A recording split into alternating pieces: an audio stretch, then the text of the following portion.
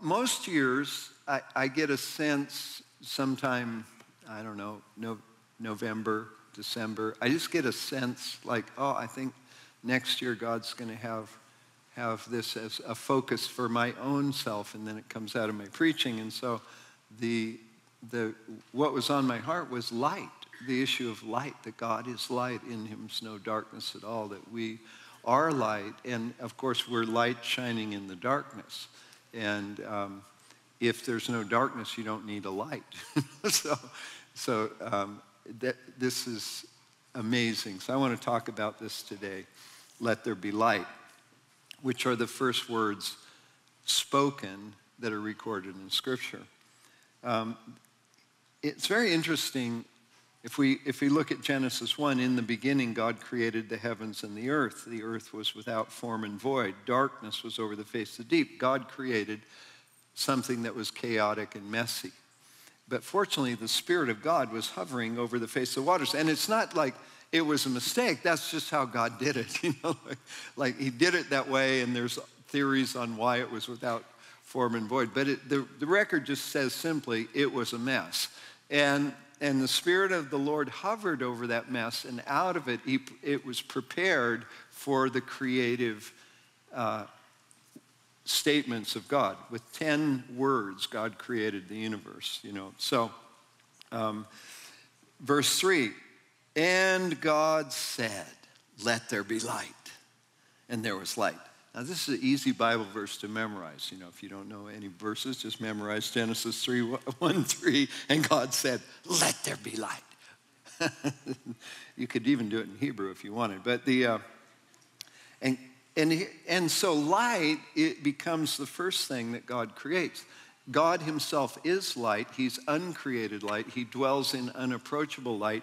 And, and when he begins to create, the, and he creates by speaking, but the first thing that is released is light. It's an expression of himself.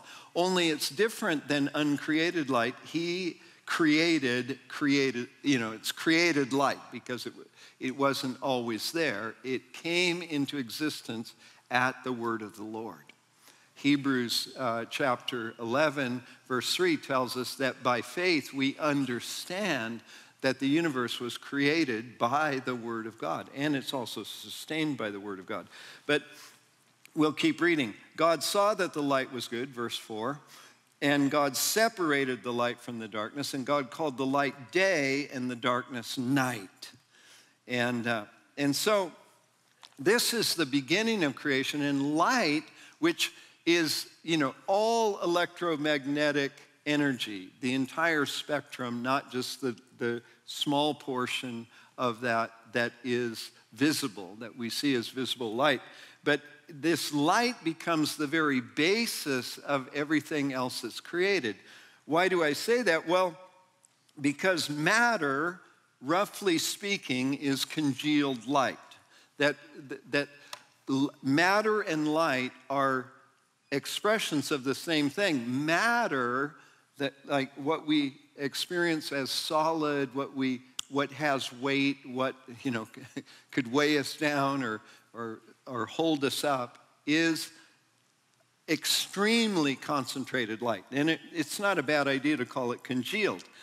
And here's the amazing thing uh, that even the tiny amounts of matter as congealed or collapsed energy hold vast amounts of energy. I mean, it's so vast that it's mind boggling. And the famous equation that Albert Einstein uh, formulated in 1905, and then it got modified into the, the form that we understand it now, it, it captures the equivalence of energy and matter, that they're two forms of the same thing.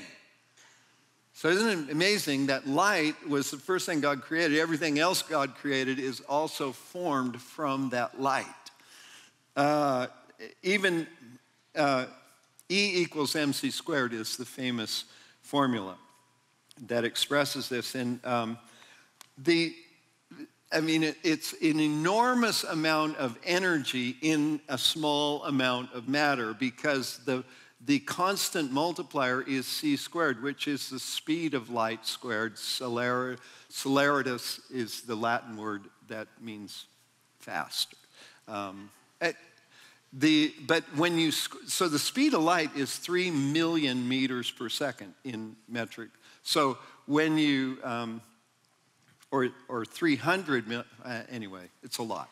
It is 300 million.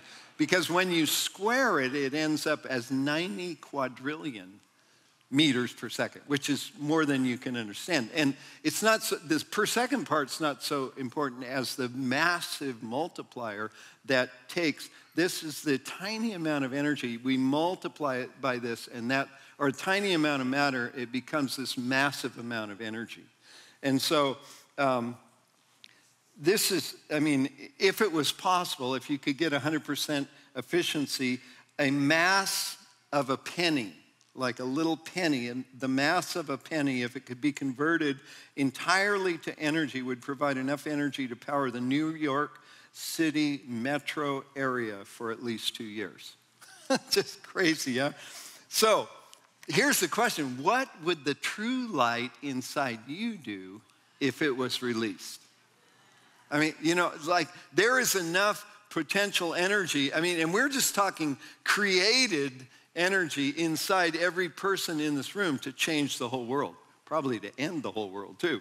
But, um, and when the true light came into the world and shone through one human being who never traveled more than 200 miles from the place of his birth, never wrote a book, never bought a house, never did all the, you know, wrote, it, it never was elected, never, did all the things that normally make people famous, he, as a young man who died a death of a criminal, changed the entire universe.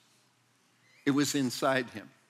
I mean, it was, you know, his, it was, he was God and he was man, but what he did on the cross, he did as a man. I mean, with a perfect relationship with God. And this gets theologically complicated, so I'm not making a, an exact absolute statement here, but would you agree? I mean, you know, maybe he was five foot six, maybe he weighed 145 pounds, and, you know, like, we don't know. But, and that human being changed all of time and history. And one day it will issue in the regeneration of all things in a new heaven and a new earth in which righteousness dwells. Hallelujah. Uh, and there will be no tears and no crying and and everything will be the way God intended it to be. And it's all moving toward that because light has been released. Come on. And so, uh, in fact, what light does is it provides the energy to move chaos toward its intended end. And we see this even in the original creation account in Genesis 1:26. And then God said, "Let us make man in our image and after our likeness, and let them have dominion over all the earth. Verse 27 So God created man in his own image, humanity in his own image. In the image of God, he created him, male and female, he created them. No ungendered language there. And God saw everything that he had made, and behold, it was very good. It was meod tov. It was beyond as good as it can get. Come on. I mean, isn't that amazing? This is what, but it started with light. I'm telling you, the light that's in you is the beginning of the new creation. Light is the basis for the new creation. And there's this interesting thing about light that light has a wave particle duality. Like light is both acts both as a wave like it can go around things and bend, and as a particle, like it hits things and makes an impact, even though it has no mass. A photon is a massless particle. so, anyway, I mean, but it's this duality that is the mystery of light. And isn't it amazing that Jesus was God and man? Who can understand that? John Calvin couldn't, or not John Calvin, um, Ulrich Zwingli, who was discussing with Luther whether or not communion actually was the body and blood of Jesus Christ or whether it was only symbolic. And, uh, and Luther was on one side and Zwingli was on the other side. And Luther said, Well, I can explain. And, and Ulrich Zwingli said, Well, if you can explain to me how this bread and wine become body and blood, then, I, then I'll believe you. And Luther said, okay, I'll explain that to you if you can explain to me how Jesus could be both God and man. And Zwingli said, huh. So Luther won the debate, but most, anyway, he, he didn't change Zwingli's mind. Okay, so, but Jesus was God and man. Now, here is the duality in your own being that you're in the world, but you're not of the world. I'm in this world, but I'm not of this world, that you're, you have a citizenship in heaven. You have a, an inheritance that is being guarded and kept for you in heaven. It's like we're not what you're not just a nicer person, nicer version of what you were before you met Jesus. When you met Jesus, here's what the Bible says. Second Corinthians 5:17, therefore if anyone is in Christ, he is a new creation. The old has passed away, behold, the new has come. So God actually doesn't care about your past. You understand that? He wiped it all away. He's not saying, well, you know, you, I, I, had a really bad childhood. I had an old, mean older brother. My dad hardly ever talked to me. Um, he was grumpy most of the time. I still loved him very much. I'm, I'm not making this up. This is a true story. Um, but you know what? God doesn't care about that. He cares that He made me a new creation. And I love my dad and I love my older brother. And, you know, it's not like I'm carrying this wound around, but sometimes we spend all our time looking at something that's already dead. And we, I mean, and we have ministries to help people stop living in a dead past and move into the living future and the living present of being a new creation. Thank you, Jesus. I'm not mocking. I don't want to hurt people's feelings who already are prone to hurt feelings, but I want to say your past is in the past. It's over. It's it's beyond and you have an awesome future. This is the day the Lord has made. Rejoice and be glad in it. The steps of the righteous get brighter and brighter until the perfect day. Well, I've had a lot of tough times. So did Jesus, so did Paul. You know, but we don't quit. And as Heidi Baker said, that famous theologian, if we don't quit, we win. Okay, so, but isn't that amazing? So light, light becomes the basis of the new creation. Um, Jesus is the true light, which gives light to everyone, uh, John 1, verse 9. And by virtue of that new birth, that new creation, we are light. We're not becoming light, we are light. Ephesians 5 8, just part of the verse, we'll talk, look at more of it later, says, For at one time you were darkness, meaning the absence of this creative energy in you, but now you are light in the Lord. No, I am light in the Lord. When I'm in the Lord, I'm light. When you're in the Lord, you're light. There is there is energy flowing out of you. And I, I hate to use the term energy because it sounds like New Age.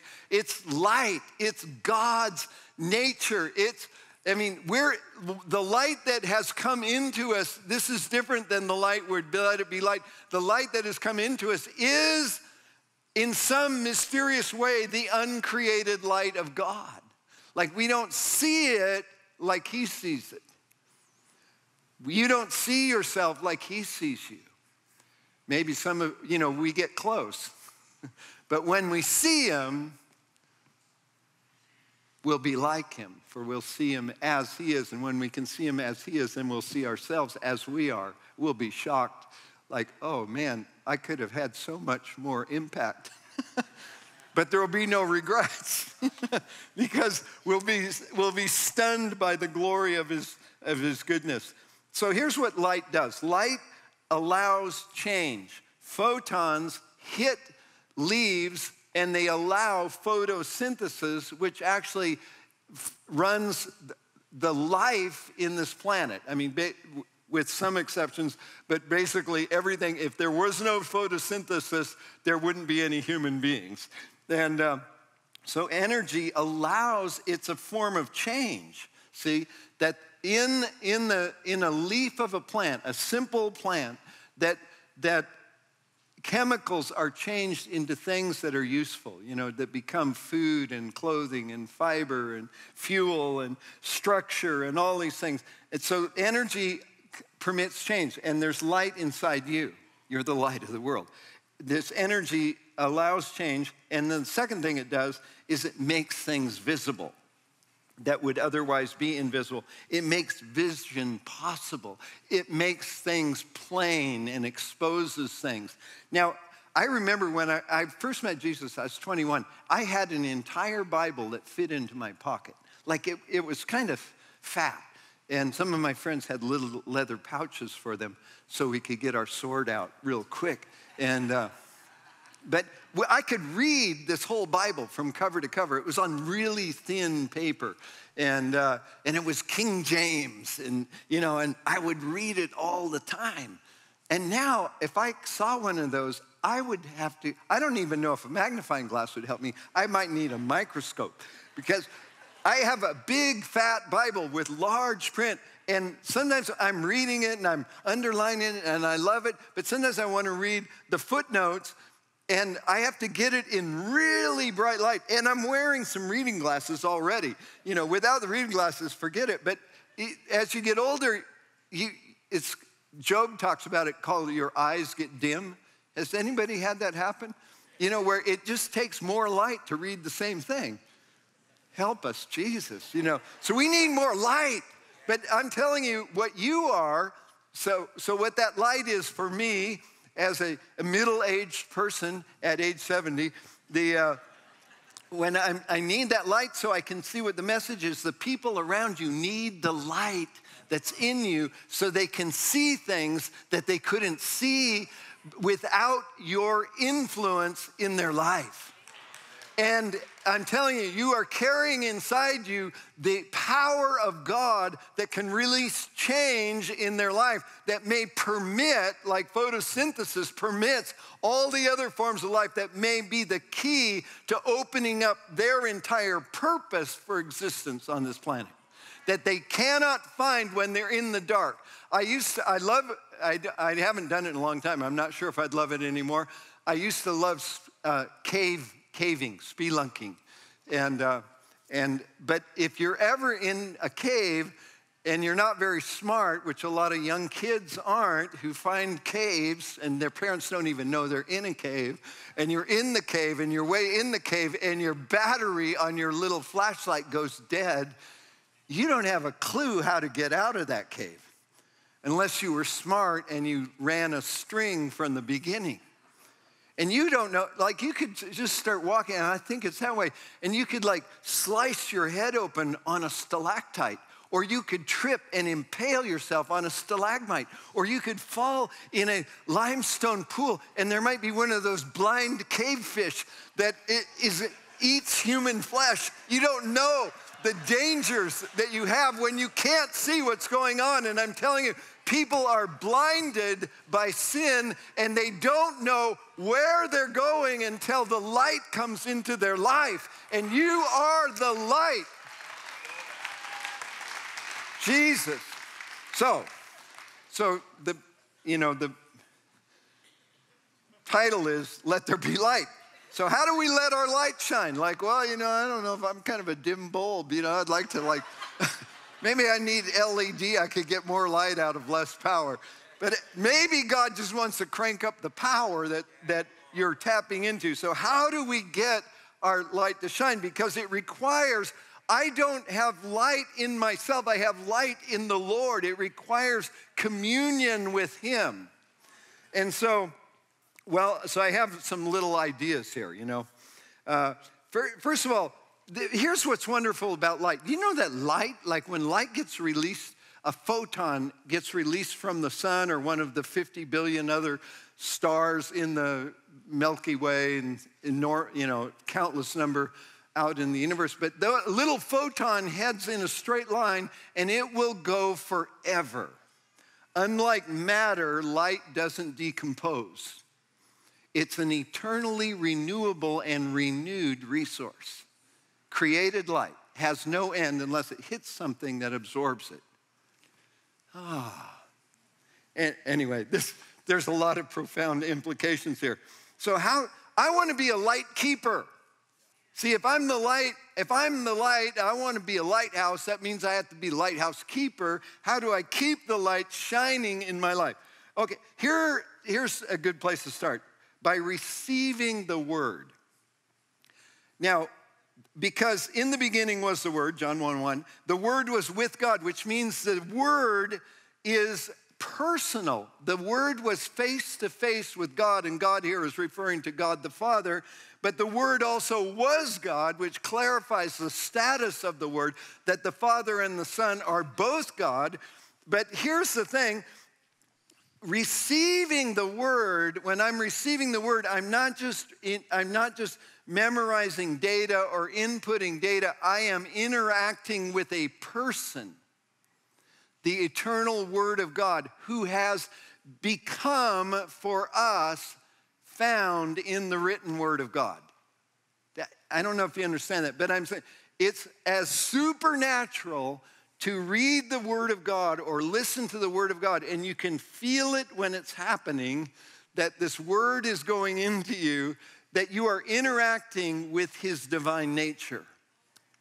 So, in the beginning was the Word, but uh, you know, it's relational. Have you ever read like a chapter? Because you know, you're on the you got, I, when I was first saved, someone told me if I read two chapters out of the Old Testament and one out of the New Testament, I could read the Bible in a year. But I was zealous and I, and I wasn't that fully employed. And, and I, I, you know, and I was hungry for the Lord. So I was reading 10 chapters a day. I was reading it for hours and hours and hours. I was powering through it, even though I didn't understand it a lot of it. You know, I had no context. I didn't know who was who or anything. But on my first time through the Bible, and and it was like impacting me and changing me. But sometimes I would have days, especially when it, you know, you can turn a relationship into into a regulation, you know. So now I have to read six chapters. You know, how many chapters did you read today? You know, and we're like measuring ourselves by how. But you know, in that mode, have you ever read a chapter and then you thought like, wait, what? Yeah, I got to the end of the chapter. I know I started, but I don't know what was in between. Has that ever happened to you? When that happens to you, what's happening is you're not relating to the word. And it's so wonderful when you do.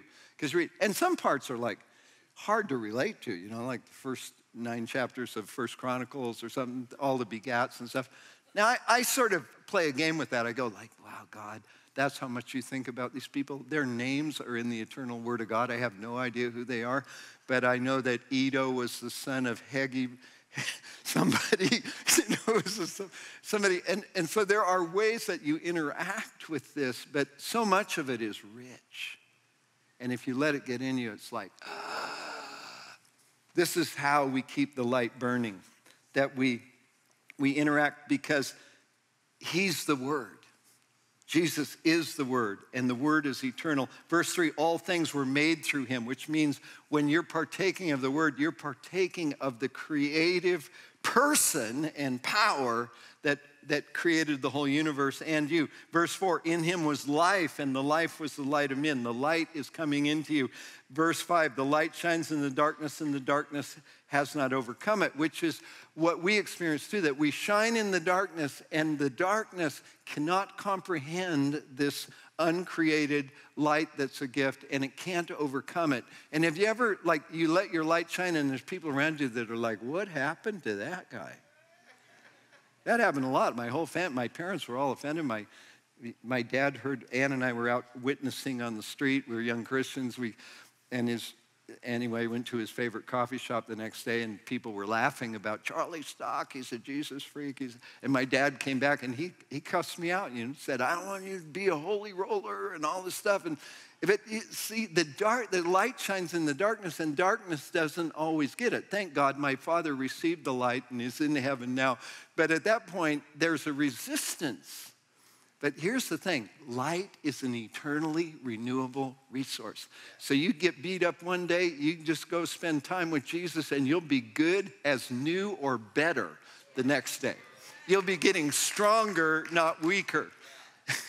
you'll be getting invincible and become more than a conqueror. Okay, Psalm 119, 130. What happens is when you're receiving the word, it unfolds. The unfolding of your words gives light.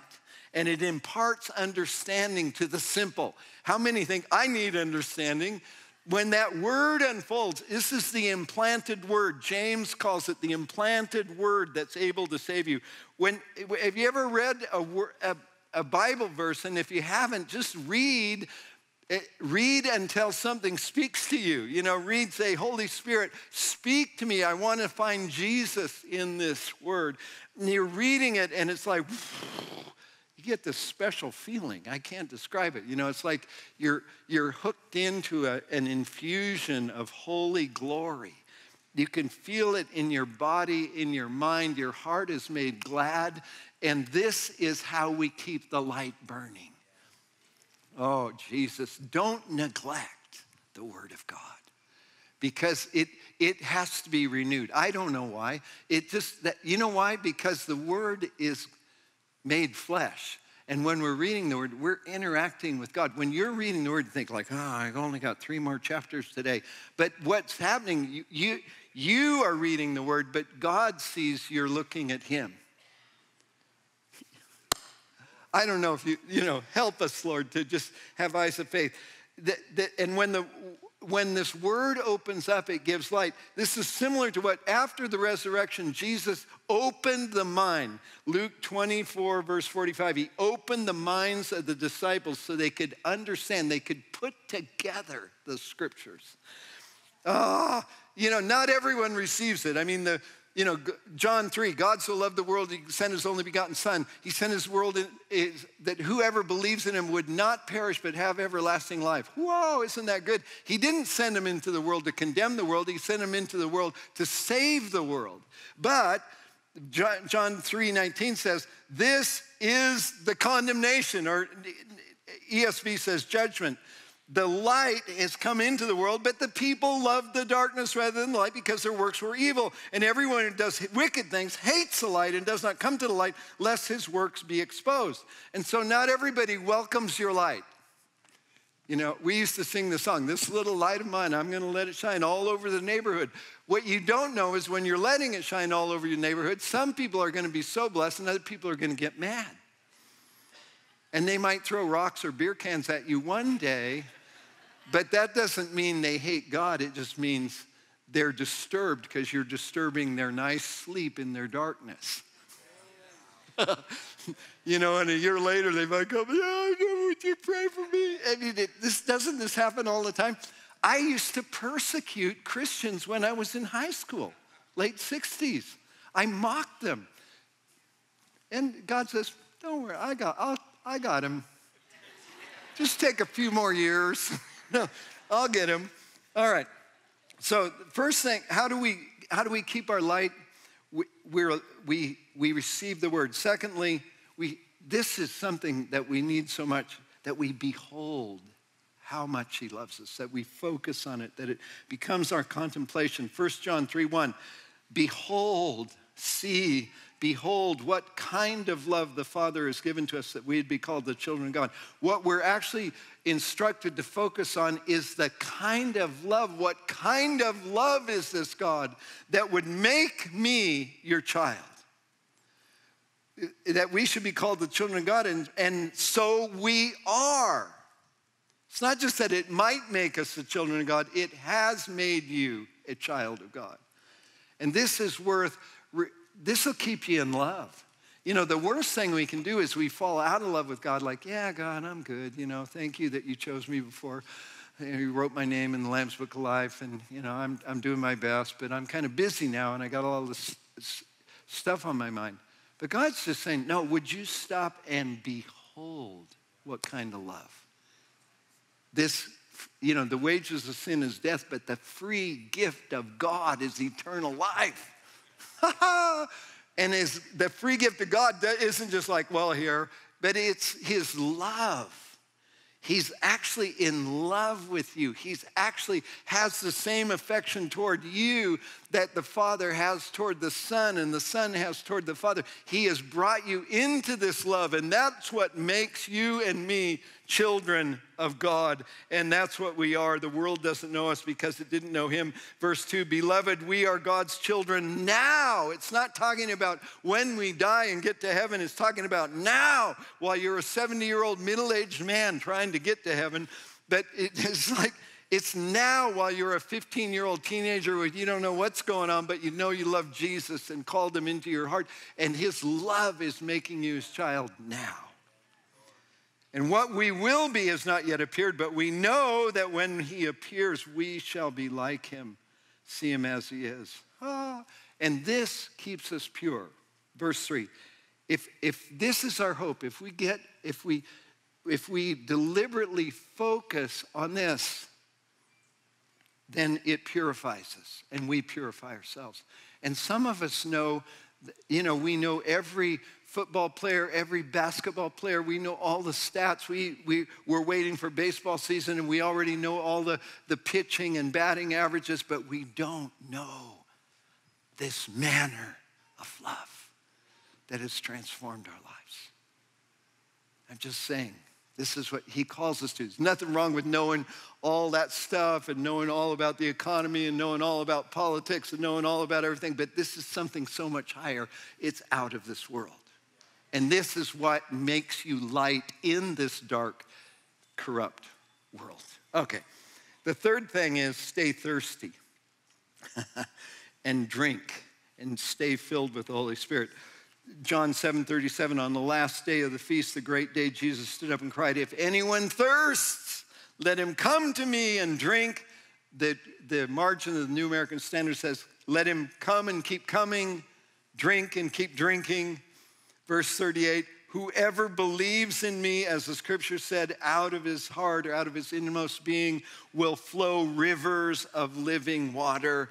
Don't you? I mean, Jesus, make us thirsty that we would keep coming. How long since you've, you've come and you've drunk and you've drunk until there's rivers flowing out of your belly. What's amazing is that the, the grace and the life of God actually multiplies inside you so that your drink becomes rivers. I could never produce even a, stre- a steady stream, best intermittent, too many times in the night. Sorry. but, but Jesus saying, no, if you come and you drink from me, then that drink of yours will become massive rivers that can change the world, that can bring forth fruit and life wherever you go. I'm telling you, that just said, let's, let's keep this light. Let's keep the light. Let's, let's, Let's get it from the word. Let's get it by beholding his love. Let's get it by deliberately saying, Jesus, I'm thirsty. I want to drink. Fill me with the Holy Spirit. I want to stay full and overflowing. Thank you, Jesus. Now, this sets us up to be what we're meant to be in this world. Matthew 5:13. You are the salt of the earth. If the salt has lost its taste, how shall its saltiness be restored? It's no longer good for anything except to be thrown out and trampled under feet. Now, I don't know about you, but I've, I've wondered about this for years. Like, I mean, can salt actually lose its saltiness? Salt is sodium chloride, and sodium chloride always tastes like sodium chloride. What on earth does this mean? And so I pondered this for a long time, and it's amazing that some questions take like 40 years to answer, but I finally came across a commentary that they said that the rabbis in that time they used salt. They, they saw salt as a, a substitute for the word wisdom.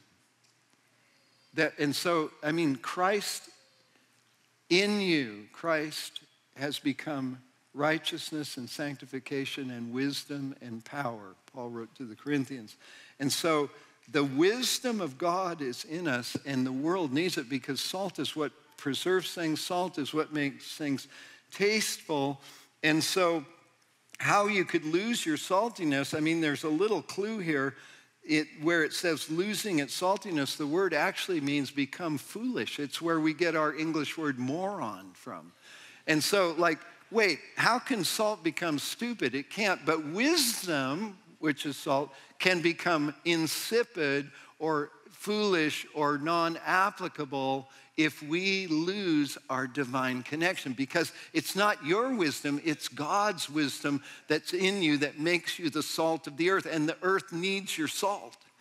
Okay, and so, so you know, how can it be? Well, it, salt doesn't actually lose, the NaCl doesn't lose its saltiness, but in those days, most of the people got their salt from the Dead Sea and it was sort of contaminated. It had other things in it besides salt, and so it wasn't like white and didn't have iodine uh, or whatever added to it, like Leslie's salt.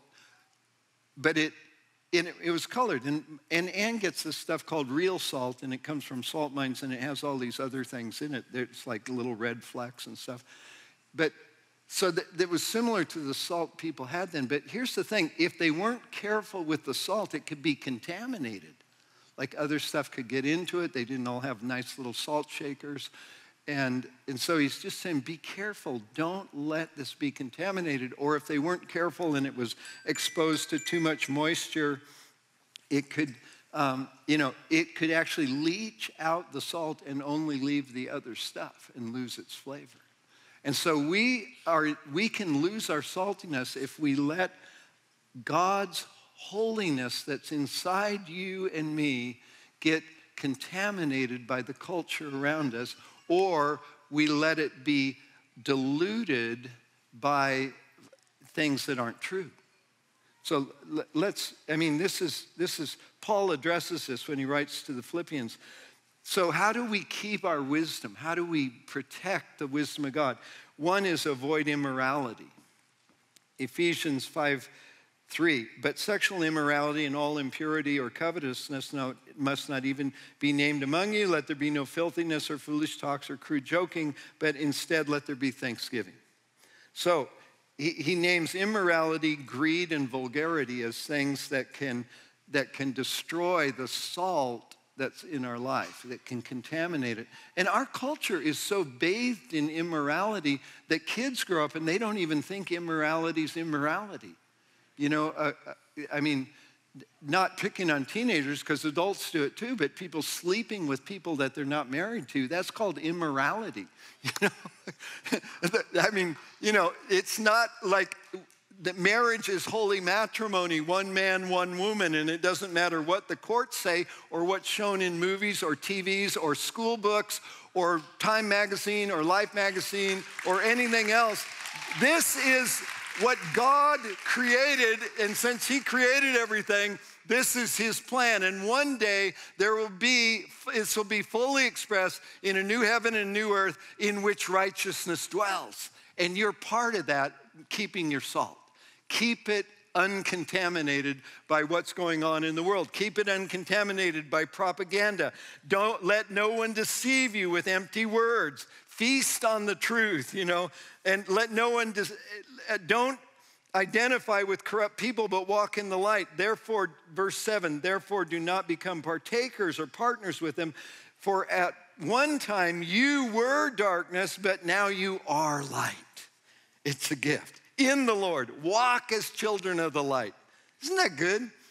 And, and study to discern what the will of the Lord is. It says in verse 10, and God is going to give you this and you just say, God, I'm not very good at this, but will you help me keep my salt salty and walk in the light as a child of the light? He will, he will give you grace for that. So that brings us to so we're the salt of the earth and we're the light of the world. Uh, Matthew 5 14.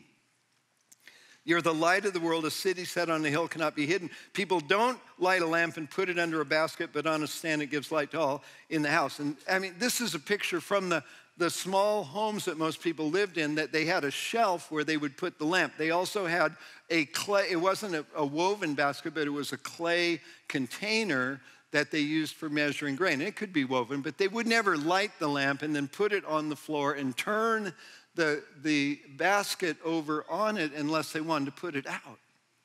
And so he's just saying, keep your light bright. Keep your light useful. You're the light of the world. People need to see. And so And listen to this. Why are we doing this? Verse 16, let in the same way let your light shine before others so that they may see your good works and give glory to your Father who is in heaven. So the purpose of letting our light shine it, it makes our good works consistent. We look for ways to serve. We look for ways to serve the community. You know, I mean, there's such an opportunity that we've had to reach out over this last year. You know, oh, I mean, it's just expanded. We've seen this food ministry go to millions and millions of pounds that Yadira and uh, Edgar, Edgar really got it going. I say Edgar and Yadira because they're a team, but the, uh, the, I mean, it's awesome. I just got a, a little video from uh, Jim Kilmartin, pastor of Center City Church in Altoona, and now they're getting two trucks every week. They've, several churches have joined together to help them. They're, I mean, and it's a big deal. I mean, there's a, one, one ministry brings another truck, they unload some of the truck into that truck and they take it out beyond Altoona in the surrounding rural areas. It's spreading. And they're, I mean, you know, they're playing worship music.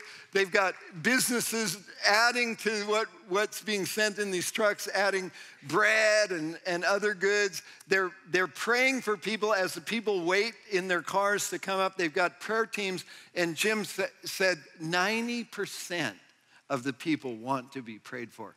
It's a way to let the light shine. There's so many ways to let our light shine. And you don't have to be super spiritual, and you don't have to do it alone. You can find some people that are letting their light shine with good works and just say, hey, could I join you? I mean, it, you, and Tannen and, and Christina at the mansion on the hill. I mean, these are just ways right here in the city. They need volunteers, you know. They need volunteers this summer and at various times through the year. Center for Champions, same thing. They need after school volunteers. There's so many ways. And there are many, many, many other ministries. These are just popping into my mind right now. But, but I'm telling you, you are anointed by God and recreated by God for, for this purpose that people would see the light shining from your life and give glory to God the Father. I want you to stand if you would. And uh, I want to I want to pray for, for boldness, that we wouldn't get intimidated by the culture around us. Don't be canceled. Don't be afraid to open your mouth. Don't, I mean, one of our, one of our uh, one of my young friends told me his child was doing a, a, work assignment using Microsoft Word online, and they were writing a letter to, to the teacher. Started out, Dear Mrs. So and so, and a little robot thing popped up and said, Oh, it's better not to use gender specific language. Like, who put, who, who did that? Who programmed that? A 22 year old? You know, in Silicon Valley, who thinks they know more than, than God, know more than every traditional culture on earth for as long as human beings have been on this earth, that there are fathers, there are mothers, there are boys, there are girls, and we need gender specific language. It's, it's the enemy because what you don't have language for, you can't see. In the beginning was the Word, and we need the Word to shape our lives. I just, I want to, how many, you just say, I want, I want to stay thirsty. I want to stay in the word and I want to be a light and I want to be salt wherever I go. It, I mean, do you want that? Oh, just lift your hands. I want to pray, Holy Spirit, would you come and would you fill us?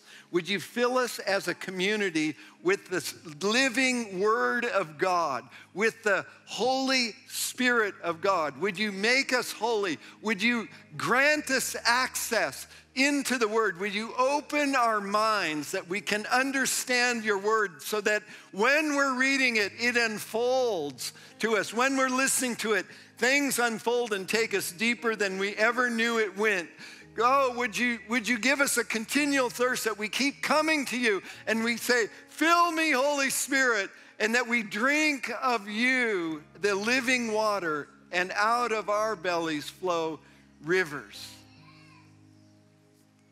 to the world around us. Jesus' name. It, if you, you know, if you just say, God, I want you to increase my thirst, would you raise your hand? Just raise your hand. I, why are we doing that? Just because otherwise you just stand there and And it's just good. Like, hey, my hand's up, God. See my hand? My hand's up.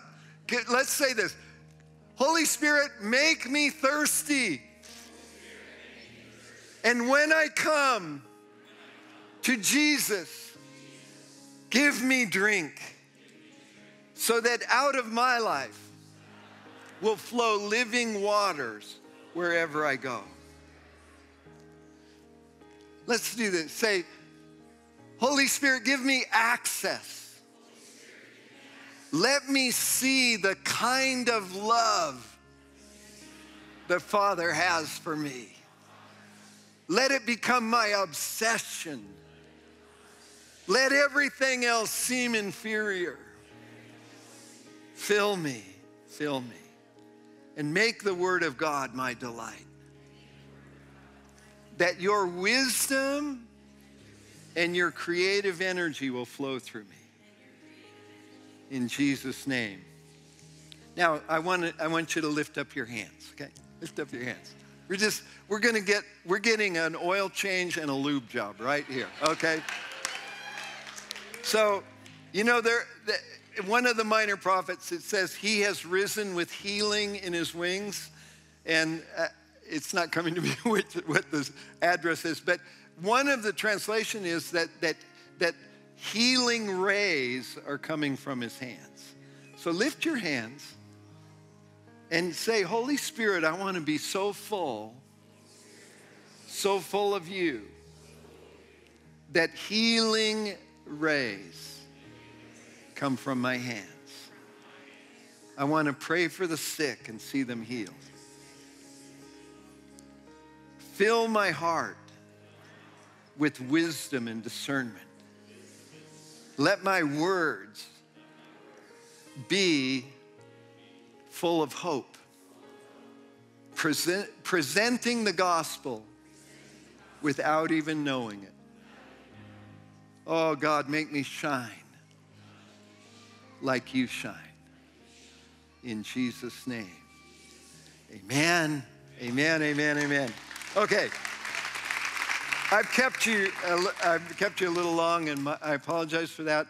I, if the ministry team would come up, I know some of you, if you're not filled with the Holy Spirit, this is a great time. If you struggle with intimidation and fear, God wants to give you boldness. If you just say, God, I just need a supernatural connection with you, I want to restore the intimacy of my first love, I invite you forward. If you've never met Jesus, get up. Just, you need to come to the front right now and, and give your life to Him. He gave His life for you He's calling you to give your life to Him.